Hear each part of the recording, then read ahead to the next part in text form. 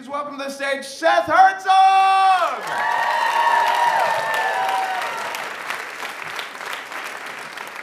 Kevin Allison, everybody, right? Looks fantastic. Looks fantastic.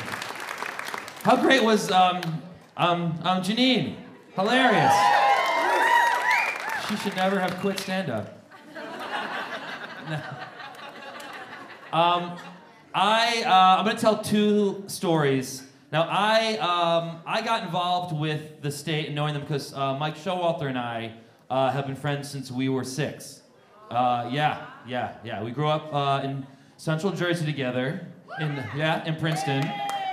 That's where we're from. Uh, in fact, this is one of Mike's old shirts from high school that uh, he gave me, and it still fits. And I found that amazing that it fits as much as you can stress the definition of fit. It's kind of a half shirt for me now.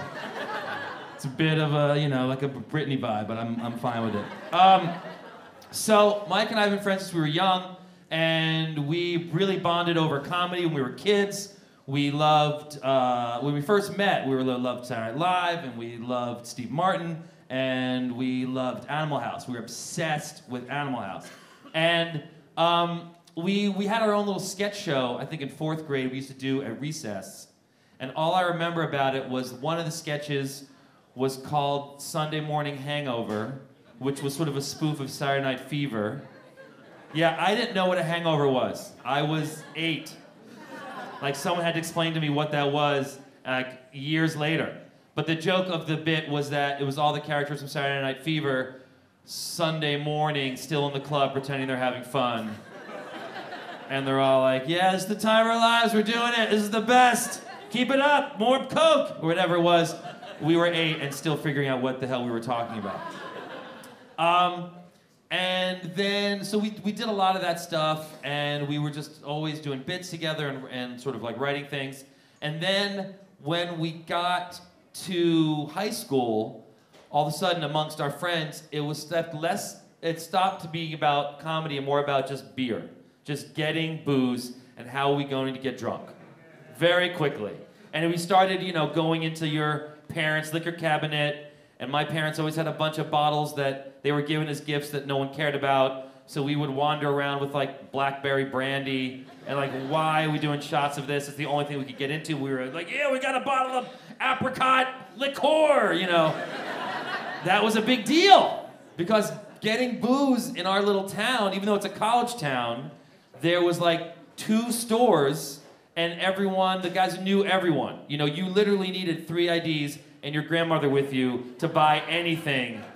Um, so it was really hard. So we would try to get runners. Like there's nothing sadder than a bunch of 15 year olds standing outside of a liquor store asking like 22 year olds to buy them beer. Um, but then we found out about this one store that was in the not so nice neighborhood. In Princeton, there's one neighborhood that's not so nice that they said there's a guy there who can get you beer. Just go there. And we went, and sure enough, there's a dude with a pad and a pen waiting for high school kids to show up, and that's his little side business. And he he would take orders, and then he'd give the money to the older gents who were hanging out on the corner, and they would go get your brew, and sometimes they wouldn't. It was a real 50-50 shot. You'd give them however much money you had, and I didn't know, none of us knew how much beer cost because we never could get really in the door. So we don't know if a case was like $5 or $50. We had no idea. We just went with whatever price they told us. So we'd give them all this money, and they were like, yeah, that's about enough for a case. And I was like, $600, that's all we have. and we'd give them the $600, and then we'd sit there and wait, like, are we gonna get it? Are we not? Sometimes we did. Sometimes we'd stand out there for an hour, and no one was coming back. We're like, I guess this is now our night. Not getting anything. So, um, and one time, and when we got older, we got cars, uh, uh, and and a little bolder li- living uh, next to the university, we would steal beer from the students. And we would steal kegs occasionally, which was the best thing if you could get away with it. It was the best, and we loved it. But we couldn't get taps. Like getting taps was really hard. There was so, so many hurdles. It was like like constant. Oh my God! It was like Lord of the Rings. Like so many missions. And so we one time we had this keg, and there's like seven teenagers standing around it would have a tap, and someone took out an axe, started putting an axe to it. They're like, no, that's only gonna ruin it. But half of us like, keep going. Like, this is the only way we're gonna get the precious, precious juice. And uh, one time, so one time we had that beer, that keg and no tap, and, and we like sent people out. It was like 11 o'clock on like in a suburban night. We're like, go find a tap, go forth. You'll be surprised how many people came back with stolen taps. If you look hard enough, you can find them around towns. It's amazing. One person stole it from a wedding. They went to a wedding and they stole a tap of a keg and brought it back. It's like we had resourceful friends. I was very impressed with our friends. So one of my favorite stories of this elk was it was the fall of our sophomore year of high school, and there was a big party coming up, and Mike and our friend Joel were like, "We need beer for sure for this party." So we decided, you know what we should do? Let's go to the city. That was the bold move. We never thought about that before. We were thought that this is they don't really card people. It's the city. They don't know if anyone's whatever. They give beer to 12 year olds. This is it. So we're like, okay. And we, we didn't get on the train because we had to get a to get on the train. We would need a ride from our parents to the train station. But this was a secret mission. So we took the bus. We could walk to the bus. So we got on the bus and we tried to look old. No, I, I wore a vest and like a shirt with no collar, like I was going to Hillman College, you know what I mean? It was a different world for me. And and our other friend Joel, no joke, put on a poncho and like a cowboy hat. He literally looked like Clint Eastwood in like fistful of dollars. Yet braces. Yet had braces. That's his overcompensation for the braces was the poncho and the hat. We're like, all right, this is our look. A white kid from a different world than Clint Eastwood. And Mike, I don't know, Mike was wearing like a sweatsuit, like full head to toe sweatsuit, like he was trying to pose like a like a like a like a hip hopper. And um, like we were going to the an Halloween costume party. So we we go to the city and we're all nervous. We don't know where to go. Where should we go? Da da da. But the difference in New Jersey and New York, in New York you can buy beer in delis, which you can't in, in Jersey. That doesn't exist. So like, let's just go to a deli and casually buy buy beer. So I have the balls. Like, I'll go in first. I'll go in first. So I remember we're on like University and like 10th Street or something, and I walked into a deli, and I got a six out of the fridge, and I put it on the counter, and I started explaining myself to the woman at the counter. I was like, "Yeah, I'm an NYU student, having a party tonight. You're gonna get a little beer." But I love that I said I'm having a party tonight. Like she cared if I'm having a who am I, what I'm doing but I only had six beers. So I was like, yeah, I'm having a party, I get some beers. I got six, that's enough, right, for a party? And then she starts laughing. She's ringing it up. The woman at the counter is ringing it up, but she's laughing. And but all I cared about is that she's ringing it up. And I'm like, it hits me. I'm like, you know what? I should go get some more beer. I was like, you know what? I think there's gonna be more people at this party than I thought. And I went and got just another six. That was it. I didn't. I was too ballsy to get like a case, so I just got 12 beers. I was like, that should be it. So I walk out with 12 beers, and Mike and Joel are like, oh my god! Oh my god, you did it! What happened? I was like, I just went in there, said I was having a party, and I bought some beer. She was cool. Didn't ask me a thing. No ID. Must have been the best. So Mike, so Showalter goes in. He buys beer. Comes out with uh, bags of beer. Joel goes in. Joel buys beer. So now we have all this beer, and now we're like, now what do we do? We're in the city with like a case and a half of beer. So we're like, but we're scared because we're like, cops are gonna see us. We can't. We get caught. There's a lot of cops around. So like, okay, here's what we do. Let's go to like a store, like a regular like clothing store with like a like like the brand name of the store on the bag, and we'll get a bunch of bags with store brands on them, and we'll put the beer in there. So it looks like we bought clothes. This is how paranoid we were that we're gonna get caught. So we go around to all these West Village stores and didn't even ask. We didn't buy. We were too cheap to buy clothes. We said, "Can we borrow a bag? Is there a bag we could have?" And we got all these giant bags. It was freezing, but we took our coats off and put them on top of the beer because we were worried people would see in and see that we were too young to have all this beer. So ner- like neurotic. And then so we go back to Port Authority, freezing with these big bags of beer with coats on them. And then we're like gonna take the bus back to Jersey, and we're figuring out like, wait, wait, wait, wait. We're now taking illegal beer across state lines. is this like a is this like a bigger felony? If we get caught, is this like double felony? Like, oh, should we rethink this? Should we rethink this? Like, such nerds, like so overthinking everything. But we did it. We're like, fuck it, let's just do it. We came all this way. So we put the beer in the overhead, and we're like so psyched. We're going back to Jersey with this beer. We get off the bus. We walk from the bus stop to Showalter's house. And now the big concern, is always the big concern, once you get the beer, next turtle, where do you store it? You can't just store it in your fridge at home because your parents be like, why are there two cases of beer in our fridge?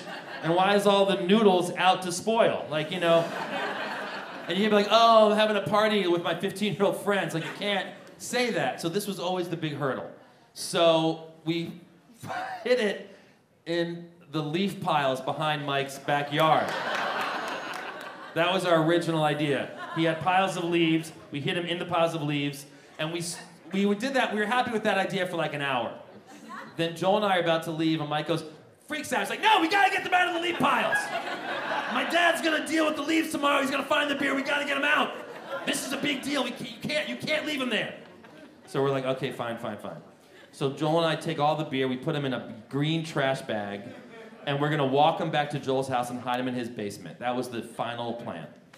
So we're walking, it's like a half mile, it's not a far walk from Showalter's house to our friend Joel's place. And it's the middle of the night.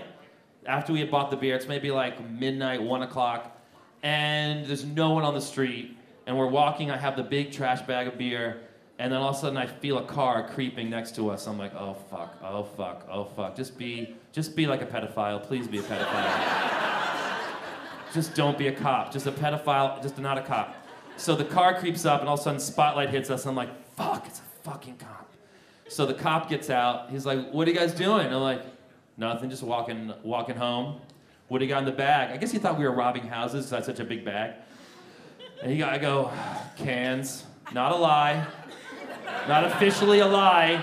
I did say cans. And then he goes, what kind of cans? And I open the bag up. He goes, those kind of cans. How old are you?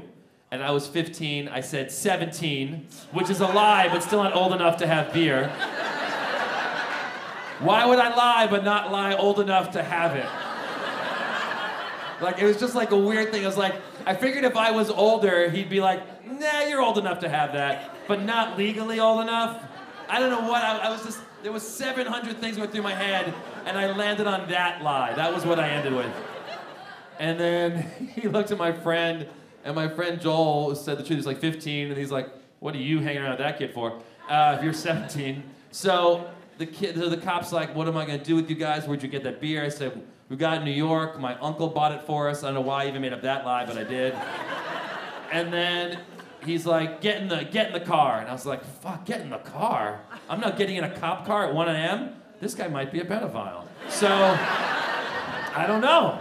So he puts our beer, puts it in the trunk, and I'm like, I don't like the sound of that. Closes the trunk, puts us in the car, and says, Where are you guys coming from? I go, Our friend Mike's house. Where is it? Show me. So he drives back to Showalter's house. We're sitting in the driveway. Mike's parents are home at this point. And he's like, Are his parents home? I was like, I don't know. Maybe. Maybe not. I'm like, tough guy, trying to be tough guy. I don't know, dude. You tell me. Yeah and the cops like starts giving us a lecture of like I should go there and I should like ring the bell and tell the parents what you guys been up to, what you have. Like this is illegal for you guys to have this. You should be doing this. This should be a major crime. Da da da. And he's talking and talking and talking at us, but he's not leaving the car and he's not ringing the bell. I'm like, this guy's not gonna do shit. oh, I guess it's gonna scare us. Now I'm mad because now I'm mad. I'm like, oh, he's just gonna fucking scare us and drop us off somewhere. So the Joel's still trying to be nice. And then he finally doesn't do anything. He pulls out of uh, Mike's house and he's like, Where are you guys going? I was like, We're going back to Joel's house. Where is it? So he's driving us back to Joel's house. And now he starts being nice. He goes, Hey, you guys play any, any instruments? Joel's like, I play bass. I'm like, Stop being nice to him. so he drives us back and then he, um, was, oh, he says, like, uh, I was like, Hey, you have our beer. Can you give us like a six of it, at least some of it? I'm trying to bargain with the dude. I'm like, come on, you know, we're nice kids. We got, we took it all the way from, from, from New York. Like, I was like, come on, you gotta be so. He goes, he thinks about it. He goes, hmm, wouldn't be right. And he drives away with all our beer in his trunk. I was like, stealing our beer was more right than giving it to us. So mad. Uh, I was furious. I was so furious. It was all that work for nothing. And now the irony is we're all sober. But uh, it's true. Everyone said, no one wants to even go, go to near it. Um, the other story I want to tell was Uh, I was very close with the state, with all the guys from like I went to like you know the first show at NYU when Mike was in there, and then I saw Malt, and then all the tapings, and um, and through the '90s I lived in New York and hung out with them a lot. And I remember one of my favorite stories was we were at another friend's birthday, and at like three in the morning, Ken Marino and another friend of his named Frank decided they were going to drive to uh, um, um, Nolans, drive to New Orleans at 3 a.m. And him and Frank, Ken and Frank, were trying to get women to come with them on this road trip they decided to do at the party in the middle of the, of, of the night. They're like, We're driving to New Orleans. Anybody want to go? And I was the only one who put his hand up. No one, I was like, around, no one else wanted to go. And they're like, All right, Seth, I guess you're coming with us to New Orleans. No women? No, none, none? So I run back to my apartment, I pack a little bag, they come and pick, pick me up, and me, Ken Marino, and his friend Frank spend a whole day and a half driving to New Orleans. But we go, we went to Memphis first, and I have a lot of friends there. And I said we should go to Memphis first and have fun there, and then we'll go we'll go down to New Orleans. So we spend a day and a half. We drive to Memphis. Now Ken Ken had decided when we got to Memphis that every bar I took him to, he was going to steal something, and some big things. So I took him to a bar that I know well, and he st- and they have giant framed like movie posters there, and he stole and walked out with one of these giant framed movie posters, which was kind of uncool. We ended up having to give that back, but uh, then, we went to a bunch of other bars. And he stole giant mugs, and he left with something at every single bar. The last bar we went to, because we spent like two or three days there, the last bar we went to was this thing called the Red Lion, but the locals referred to it as the Redneck, because the guys who ran it were uh, not nice. And we uh, and and so we're I'm playing pool, and there's not there's only Ken and me, my friend George, who we were meeting, Frank, and a couple people. There's not many people in this in this bar. It's late late night. Ken had stolen one of the lamps, and like a green little banker's lamp, and had under his sweater. I did not know this. He didn't tell me. He's holding his sweater. And he's like, "We're gonna go, right? We're gonna we're gonna leave now. We're gonna leave. We're ready to go." And I was like, "No, my pool game's up. I'm getting ready to pool." He goes, "All right, fine." So I'm playing pool, and I see as I'm playing pool, the owner of the red neck, the red lion, is looking at the tables and he sees one of the lamps gone. And he goes outside, and our friend Frank is, has the car ready, ready to go. And he's like asking, what are, you, what are you doing here in the middle of the night? He's like, I'm picking up my friends. Uh huh, uh huh. Starts giving him like the third degree. And then he comes back in, he closes the door and locks it. Yeah. He goes, No one's leaving till I get my lamp back. And all of a sudden, I don't know what's going on, and all the other guys are grabbing pool sticks. And I'm like, what the fuck? And then I look at Ken, and he's sitting there holding his sweater. and he's like, and I'm like, what the fuck? It's long silence. And this one girl who works behind the bar goes, I took your lamp. The guy's like, you did? Like, very serious. She goes, no, I'm kidding. And it's the longest, most great, tense-filled silence I've ever heard in my life. Goes on for seeming like ever. And then Ken finally goes, You know what's funny? I'll tell you what's funny. I had your lamp the whole time. It was me. It was me the entire time. Here it is. He gives the lamp back. And then there was a moment where I thought for sure they were to keep the door locked and just kick our asses. I really did. I was like grabbing my pool cue. I was like, I don't know. I've seen Star Wars. Something's going on. I'm to try and get this ready to rock this. And then he goes, You know what? The owner's like, I think he sized up the fight. He sized up, there was three of us and like three of them, and they were like, I don't know if this is worth it. He's like, you know what? Maybe you guys just get the fuck out of here. And he opened the door, and Ken goes, all right, maybe we should. And then I, I held my cue all the way to the door. So I was like, I don't want to get hit on the side of the head and not know it. And then I put down the cue, and I was like, thank you so much. It was really fun. all right, you guys were great. Thanks so much. Ke- Kevin.